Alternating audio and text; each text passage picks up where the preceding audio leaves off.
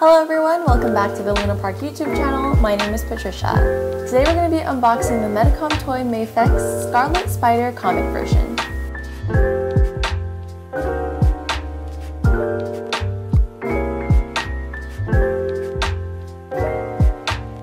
So this is from the comic book The Amazing Spider-Man and for some reason it's really popular. So let's go ahead and start the unboxing to see what it's all about.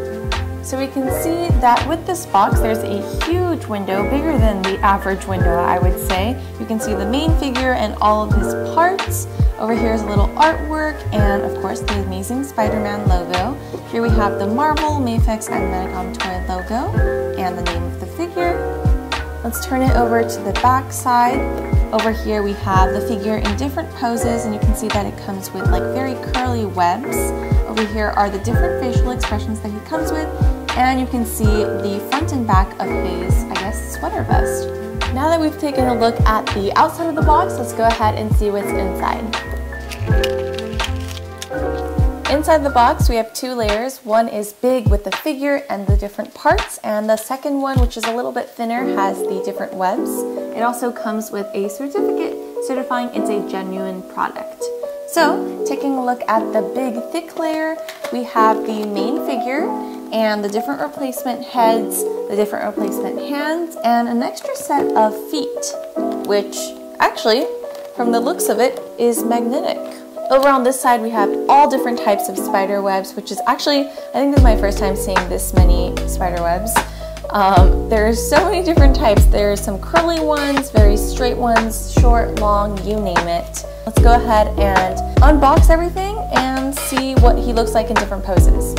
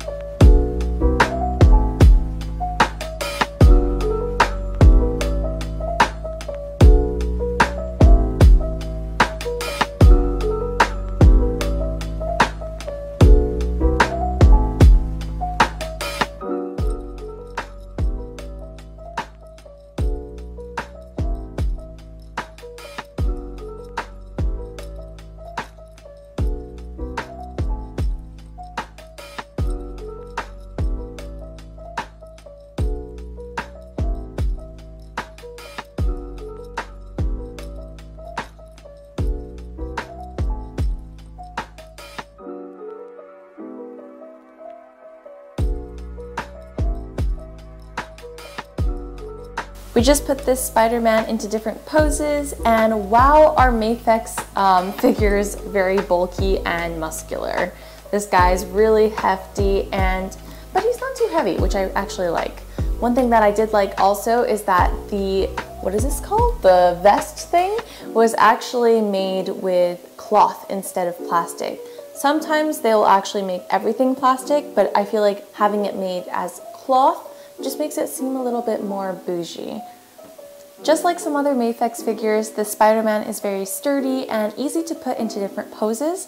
The only thing that I would probably change is maybe because Spider-Man is supposed to be a little bit more flexible, I would wish that he bends forward a little bit more, but that being said, the magnetic um, hands and feet definitely make up for it. So with the magnetic! So with the magnetic hands and feet, you can actually put him into any surface that works with magnets. So we actually just put him onto the fridge. Um, but yeah, I thought that was a really cool feature that they added. Not all Mafex figures has magnets, so I think it's really um, suitable for Spider-Man.